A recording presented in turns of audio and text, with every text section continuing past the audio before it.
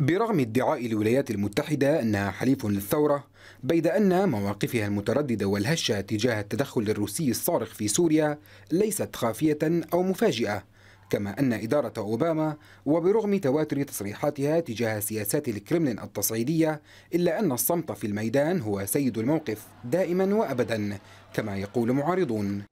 لكن ما حكاية التسريب الأخير لوزير الخارجية الأمريكي جون كيري الذي اعترف فيه صراحة بالعجز والإحباط في مقارعة الروس بل وأطلق كيري مفاجأة مدوية بدعوة المعارضة السورية للقبول بانتخابات يشارك فيها الأسد. التسجيلات المسربة التي نشرتها صحيفة نيويورك تايمز تضمنت حديث كيري مع معارضين سوريين على هامش اجتماعات الجمعية العامة للأمم المتحدة وأظهرت استياء كيري من إدارته التي لم تدعم جهوده الدبلوماسية بحسب زعمه.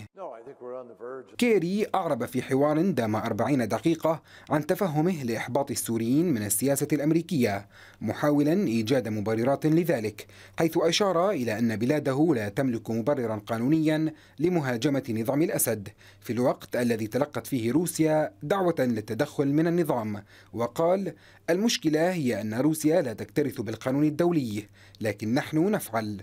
الاختلافات داخل إدارة أوباما لم تعد سرا إذ عبر كيري عن عدم اتفاقه مع بعض قرارات أوباما السياسية مشيرا إلى أن الكونغرس لن يوافق البتة على استخدام القوة.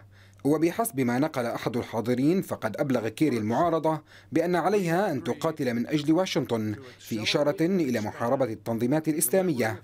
فيما اعتبر كيري أن حزب الله والميليشيات الشيعية لا تخطط ضد واشنطن وبالتالي ليست في قائمة الأعداء.